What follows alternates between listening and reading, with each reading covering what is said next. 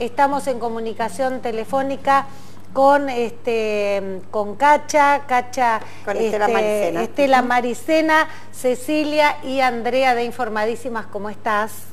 ¿Cómo están chicas ustedes? Buenas tardes. ¿Cómo estás Andrea, Cecilia? Bien, bien, Cacha, muchísimas gracias por atendernos. Bueno, queriendo conocer ¿no? cómo están precisamente ustedes haciendo desde la desde la ONG, cómo están haciendo frente a esto. Sabemos que ha aumentado muchísimo la demanda, Cacha. Bueno, específicamente, ¿cómo están atravesando el momento? Bueno, eh, sí, como todos saben, eh, acá y en todos lados se ha aumentado terriblemente porque al estar la gente sin trabajo, se ha parado todo realmente, que me parece perfecto para que todos nos cuidemos entre todos, pero también tenemos la necesidad encima, ¿no? La gente necesita venir a retirar una vianda, así que bueno, con todas las precauciones que nos han indicado, estamos cumpliendo todo. Entran dos personas por, por vez a retirar las viandas, salen esas dos y entran otras dos. Nos lleva un tiempo, la verdad, porque bueno, son muchos los que están viniendo. Eh, ¿Ha aumentado en cuánto más o menos, Cacha? ¿O ustedes ya están excedidos, digamos, cada uno supongo cada comedor pondrá un cupo para poder este, estirar lo más que se pueda la comida diaria. Eh, sí, no, nosotros no tenemos un cupo, viene el que necesita y como ustedes saben en este momento es muchísima la gente, antes teníamos 400 raciones, ahora debo estar, eh, no sé, 600 por lo ah. menos, diarias, todos los mediodías, porque no podemos dar que una, más que una sola comida pero bueno, tratamos de ayudar a la familia en lo que podemos, ¿no? En conjunto con Desarrollo Social, Banco Alimento, la Sociedad de Tandil que siempre aporta algo, así que con eso vamos sosteniendo el lugar, ¿no?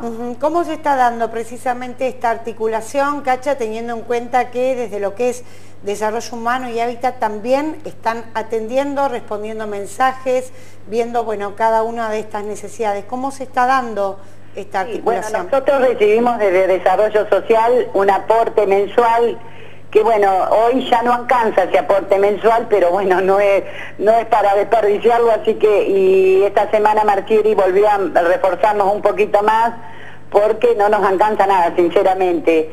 Pero bueno, vamos, vamos el Banco Alimento, que ya mañana estaríamos haciendo un pedido, eh, nos vamos arreglando con lo que tenemos, vemos cómo hacemos, pero tratamos de llegar a toda la familia, porque son muchas las que se han agregado que no tienen trabajo en este momento, desde albañiles, señoras que trabajaban en la casa de familia y hoy no la están tomando por esto mismo, porque hay que tener precaución.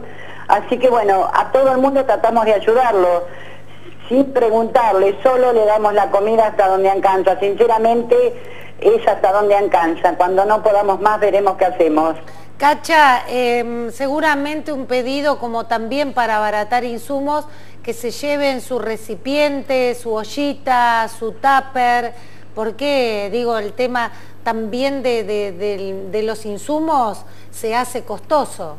Sí, muy costoso, pero bueno, realmente la familia está en su tupper, eh, lo que le pedimos que el tupper esté en condiciones, que esté bien higienizado, que lo laven bien. Claro todas las precauciones que tenemos que tener siempre se los recalcamos más en este momento, para cuidarnos entre todos, ¿no? Eh, hay chiquitos, hay abuelos, entonces entre todos nos tenemos que cuidar para salir adelante. Eh, tratemos de no salir si no es necesario, vuelvo a insistir con esto, yo lamentablemente, no digo lamentablemente porque es algo que me gusta, tengo que hacerlo y tengo que salir adelante, para que estas familias tengan lo que necesitan para poder llevar el alimento a su casa. Así que el que no es necesario que no salga de su hogar. ¿eh? que cuiden mucho a los nenes, que cuiden a los abuelos. Eh, entre todos creo que vamos a salir. Lo escucho al intendente y bueno, las palabras del intendente son duras pero reales. Entonces me parece perfecto que todos tomemos conciencia y nos cuidemos entre todos. Cacha, ¿cómo están, perdón, ustedes con el recurso humano? Porque nos decías que, bueno, se incrementó precisamente el 50% la demanda. ¿Ustedes cuántas personas trabajan? ¿Se han sumado también al equipo? Bueno, te voy a contar que en este momento las personas mayores que estaban en el comedor, aparte de yo, se retiraron a su hogar. Tanto mi hermana, que tiene sesenta y pico de años, Mari, la otra señora que trabajaba con nosotros, así que me he quedado yo con tres chicas jóvenes que son las que me ayudan, María, Mariana y Nancy. Y bueno, y yo y Mirta acá haciendo lo que podemos. Cacha, vos, eh, por ahí hay gente que no sabe dónde está ubicado el comedor, pero mm, ¿qué ves en, la zona? Eh, ¿Es más difícil realizar la cuarentena por ahí en un hogar que es más chiquito que el, que, el común de la gente, donde por ahí, bueno, son muchos de familia y no tienen casi lugar, se dificulta, eh, ustedes les van diciendo que se cuiden y sabemos que no es fácil. Por supuesto que es más difícil porque son espacios reducidos, porque tenés que tener a los nenes adentro, eh, son muchos de familia, pero les pedimos constantemente que se cuiden, que tengan a los nenes adentro, que no los dejen. Yo sé que a veces cuesta muchísimo, pero hay que cuidarse y cuidarnos entre todos para salir adelante, ¿no? Para que esto no nos afecte, que esta pandemia no ataque a Tandil. Entonces, entre todos, de a poquito nos vamos a ir cuidando. Eh, yo sé que es difícil, porque cuando vos eh, tenés una casita chiquita, humilde, y tenés que tener a todos los pibes en una cocina o en una habitación, es difícil. Pero bueno, a ver, hay que hacerlos hacer algo a los chicos. Eh, no sé, delen para pintar, que dibujen, que no sé, los maridos que están en la casa que pinten las paredes con algo, no sé, que busquen un poquito de pintura, que hagan algo, que corten el pasto en el patio. A ver, entre todos podemos cuidarnos. Bien, Cacha, hoy que parece que, bueno, la situación demuestra que nada es suficiente, ustedes están aceptando donaciones individuales y si es así, ¿qué tipo de insumos están necesitando? Mira, hoy yo justamente hablaba con Alejandra Marchiri por WhatsApp, le estaba pidiendo artículos de limpieza para poder entregarle a la familia, sobre todo lavandina, jabón blanco, y me decía Alejandra que todavía no ha conseguido la lavandina, pero estamos pidiendo esto, lavandina y jabón blanco, específicamente para la familia. Después, lo alimentario, todo viene bien, una bolsa de papa, cebolla, lo que sea, todo viene bien acá, como ustedes saben, siempre se le, se le brinda a la gente lo que podemos. Pero en este momento los artículos de limpieza y de higiene son fundamentales. Eh, Cacha, reiteranos tu, tu lugar para aquellos que no saben.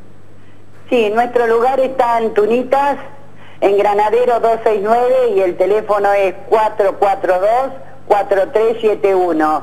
Eh, bienvenido será eh, todo lo que pueda hacer de limpieza, sobre todo el jabón blanco, que a veces no le dan importancia, pero el jabón blanco están diciendo los médicos que es fundamental sí, claro, la claro. Con eso hacen todo, pueden lavar la ropa, lavarse las manos. Está... Exactamente. Bien, muy bien. Cacha, te agradecemos muchísimo por esta comunicación. Vamos a estar repitiendo el teléfono por ahí. Digo, no sé si ustedes disponen los medios para también ir a buscarlos, porque la gente no podría salir, ¿no? Por esta razón, pero bueno.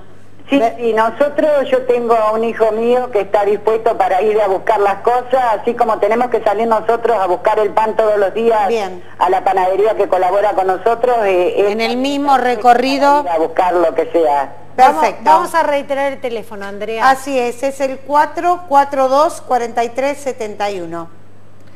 Cacha, te mandamos un beso enorme a vos y a todos aquellos que están haciendo un trabajo fantástico, asistiendo desde hace ya muchos años, pero en esta ocasión especialmente a tanta gente que lo necesita. ¿eh? No, gracias a ustedes chicas por siempre estar presente y bueno, a cuidarnos todos, por favor. Exactamente, a cuidarnos.